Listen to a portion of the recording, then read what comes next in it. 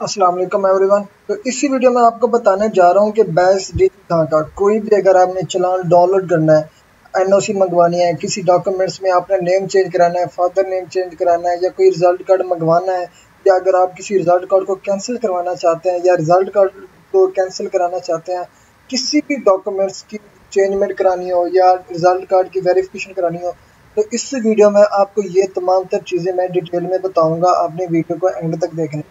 ठीक है जी first of all अपने बैस डिजिटल की वेबसाइट पे आ जाना है।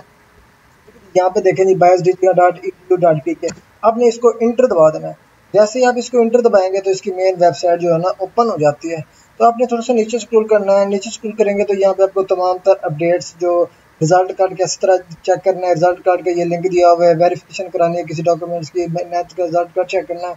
उसके अलावा अगर कोई कंप्लेंट आप सबमिट करना चाहते हैं, उसके अलावा कोई ड्यूटी ऑर्डर वगैरह प्रिंट निकालना है स्टाफ लिस्ट निकालनी है ड्यूटी ऑर्डर निकालना है मार्किंग ऑफिसर स्टाफ ऑर्डर निकालना है, या कोई डाउनलोड मैनुअल फॉर्म पे कोई डॉक्यूमेंट्स प्रिंट आउट करना है, उसके अलावा मैटर की कोई प्राइवेट स्टूडेंट से जिन्होंने एडमिशन भेजा था, उसके रोल नंबर स्लिप निकालनी है स्कूल एफिलिएशन फॉर्म निकालना है, उसकी फ़ी शेड्यूल क्या है तो यहाँ पे आपको तमाम तर चीज़ें मिल जाती हैं। उसके अलावा अगर आपने कोई भी डॉक्यूमेंट्स का, जो कि शुरू शुरू में मैंने बताया था, कोई चलान निकालना तो आपने यहाँ पे सिंपली क्या करना है ऑनलाइन चलान पे क्लिक कर लेना है जैसे ही ऑनलाइन चलान पर क्लिक करते हैं आपको थ्री कैटेगरीज के फॉर्म मिल जाते हैं। एक इंडिविजुअल स्टूडेंट के लिए एक सर्टिफिकेट डिपार्टमेंटल के मिल जाते हैं, उसके अलावा कॉलेज इंस्पेक्शन फ़ी होती है।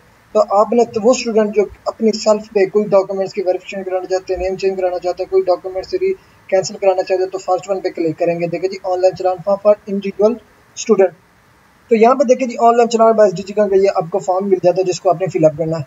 चलान की कैटेगरी क्या है? यहाँ पे आपने करना है, यहाँ पे तमाम तरह कैटेगरीज दी है। एनओसी मंगवानी है नेम चेंज करना है फादर नेम चेंज करना है डेट ऑफ़ बर्थ चेंज करानी है डुप्लीकेट रिज़ल्ट कार्ड मंगवाना है डुप्लीकेट सर्टिफिकेट करनी है सर्टिफिकेट वेरिफिकेशन करानी है प्राइवेट के तौर पर सेल्फ के लिए सर्टिफिकेट वेरिफिकेशन डिपार्टमेंटल करानी है certificate verification from other country से करवा रहे हैं माइग्रेशन करानी है, कोई रूल नंबर स्लिप गलत आ गई है या रॉन्ग पेपर कोड आपको मिलेगा, उसकी करेक्शन करानी है पेपर कैंसिल कराना है या आपने रिज़ल्ट कार्ड कैंसिल करवाना है तो यहाँ पे तमाम तरह कैटेगरीज के अगर आपको डाउनलोड करनी है तो यहाँ पे आप डाउनलोड कर सकते हैं, घर बैठे बगैर किसी शॉप पर विज़िट किए।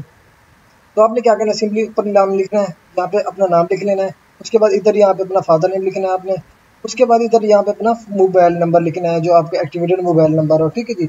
यहाँ पे मोबाइल नंबर आपने लिख लिया। उसके बाद यहाँ पे आ जाता है आपका सी एन ए सी अगर आपका सी एन ए सी नहीं बना हुआ तो आप बे फॉर्म नंबर ही पुट कर सकते हैं। वो दोनों सेम ही होते हैं, लेकिन कुछ लोगों को पता नहीं होता कि C N A C number B form number क्या होता है। तो यहाँ पे आपने वो C N A C number, जो फॉर्म नंबर होता है, वो यहाँ पे पुट कर देंगे। उसके बाद आपने यहाँ जो डॉक्यूमेंट्स अपनी मैट्रिक का चेंज कराना है एन मंगवानी है, कुछ भी मंगवाना है, आपने यहाँ पे प्रेजेंट रिज़ल्ट कार्ड हो गया। अगर आप वेरिफिकेशन कराना चाहते हैं मिसाल के तौर पर तो यहाँ पे आप उस रिज़ल्ट कार्ड का रोल नंबर बताएँगे, जिसके आप वेरिफिकेशन कराना चाहते हैं। तो यहाँ पे मैंने रिज़ल्ट कार्ड की वेरिफिकेशन के रोल रोल नंबर बढ़ गया मैंने कि एफ़ एस का। तो उसके बाद यहाँ पे मैंने सेशन बताया कि मेरी एफ़ एस सी दो हज़ार तेईस की है एनुअल उसके अलावा यहाँ पे अमाउंट लिखे या ना लिखे, इसका कोई मसला नहीं है। जब आपका चलान प्रिंट आउट होगा, वहाँ पे आपकी ये अमाउंट नहीं होती। आपने इसे कोई भी अमाउंट पुट कर देनी है। उसके बाद यहाँ पे क्लास सिलेक्टेड ऑलरेडी मैट्रिक उसके बाद यहाँ पे मैंने एड्रेस बताना है। मैंने एड्रेस सिंपली बता दिया। आपने कंप्लीट एड्रेस बताना होता है, क्योंकि ये पोस्टल एड्रेस होता है जो कोई भी डॉक्यूमेंट्स वो सेंड करते हैं, ताकि वो आप इजली ऐसा पता दें जिस पे वो इजीली डॉक्यूमेंट सेंड करें, आप इजीली उसको रिसीव भी कर सकें। उसके बाद लास्ट में आ जाता है चलान कैटेगरी कि आप चलान कैटेगरी क्या है किस वजह से आप ये चलान डाउनलोड करना चाह रहे हैं। यहाँ पे सिलेक्ट ऑप्शन पे क्लिक कर लेना। यहाँ पे नेम चेंज क्या फादर नेम चेंज क्या डेट ऑफ़ बर्थ चेंज क्या डुप्लीकेट रिज़ल्ट कार्ड है जो ऑलरेडी मैंने ये तमाम डिटेल बताई है। तो मिसाल के तौर पर अगर आप सर्टिफिकेट वेरिफिकेशन कराना चाहते हैं तो यहाँ पे क्लिक करेंगे।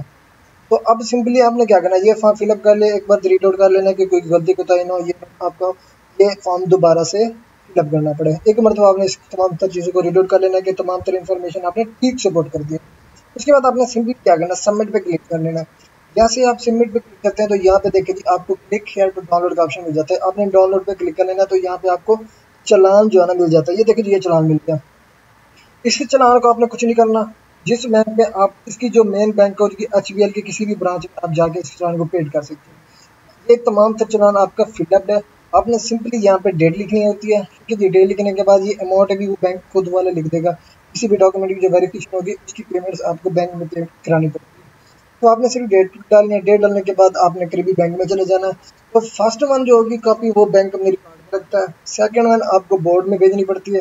थर्ड वन जो होती है स्टूडेंट का जो फर्दर यूज़ कोई बोर्ड की तरफ़ से तो बतौर प्रूफ आपके पास एक कॉपी होती है, ठीक है तो ये है, चलान, किसी भी चीज़ का अगर आपने डाउनलोड करना है तो आप इजीली इसको डाउनलोड कर सकते हैं। आप इसको यहाँ पे डाउनलोड कर लें। ठीक है डाउनलोड करने के बाद किसी करीबी बैंक में, किसी करीबी कंप्यूटर शॉप पर जाके प्रिंट आउट करवा सकते हैं व्हाट्सएप पर ठीक है जी, ये है अप्लाई करने का तरीका। आप यही अप्लाई मोबाइल कर सकते हैं। मोबाइल में भी कर सकते हैं लैपटॉप में भी कर सकते हैं, अगर आपके पास कंप्यूटर अवेलेबल तो भी कर सकते हैं। ठीक है जी, ये है किसी भी चलान को डाउनलोड करने का तरीका। मजीद ऐसी वीडियोज़ के लिए मेरे चैनल को लाजमी सब्सक्राइब कर दीजिएगा। मिलते हैं नेक्स्ट वीडियो में। तब तक के लिए अल्लाह हाफिज़।